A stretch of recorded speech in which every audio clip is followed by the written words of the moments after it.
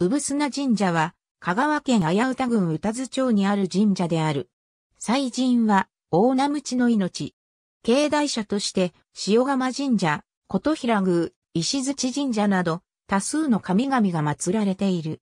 伝承では、産砂神社は紀元前から、歌郡の里に鎮座し、高尾品大臣として祀られている。慶光天皇の御子日本穂高の子、武覚王が、あの郡に封ぜられた際に、瀬戸内海海岸を船でご巡視したが、暴風雨に遭遇し、王は驚いて、高尾品神に記念すると、小ガラスが飛び風波をしのぐ道しるべとなり、王を導いた。王は大変喜び、水夫に命じて、カラスに従い、泊まり島に漂着死難を逃れた。これより、高尾品大臣を一層厚く崇められ、小ガラス大臣と称されるようになったとされる。現在でも、小ガラスさんとの別称が地域で受け継がれている。また、公認天皇により、779年には、社殿再興のことが伝えられている。さらに、平城天皇の806年5月の親友の日、戦座1150年祭を開催したが、その際大祭を親友祭と称したのは、以上の由緒によっている。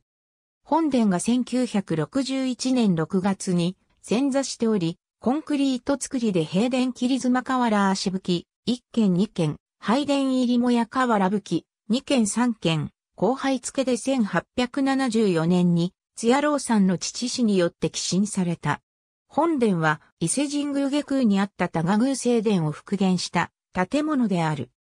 産砂神社本殿になる前は、1973年の第60回式年遷宮で解体されたものだったが、同年不慮の火災により、社殿を消失した産砂神社に、伊勢神宮より、お古材藩主として特別藩主され、再建されたものである。産砂神社では昭和に入っていくつかの境内拙者が合祀放祭されているほか、境内抹社も多数参見される。境内拙者塩釜神社、コンピラ神社、船玉神社、中根神社境内抹社三王神社、貴船神社、南宮神社、北宮神社、春日神社、淡島神社、白鳥神社、稲積神社、浦玉神社、木の山の神社、石槌神社、宇里神社、里森社、和礼神社、大天宮社、知人社。本殿内に宝祭住吉神社神社の創建は古く、紀元前とも言われるが、歌郡津の号に損した高尾品大臣として祀られたとされる。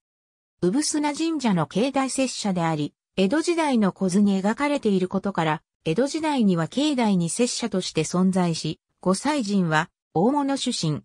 文化財として、琴平神社内に、毛補長坊青山神経図絵馬を所蔵している。この絵馬学は、1855年に描かれた街並みであり、歌津の町の町指定有形文化財に指定されている。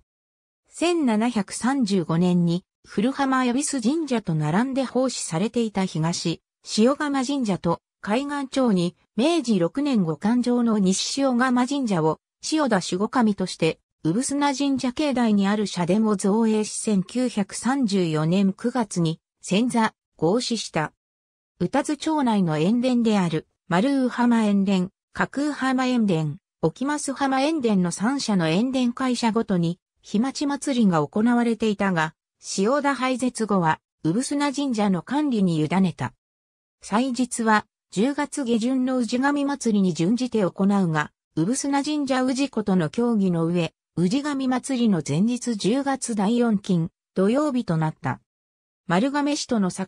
青の山の北陸最寄りの JR 宇多津駅から県道33号線を北東に約650メートル行き、宇多津東口バス停のある交差点を右折し、約360メートル行くと、参道入り口。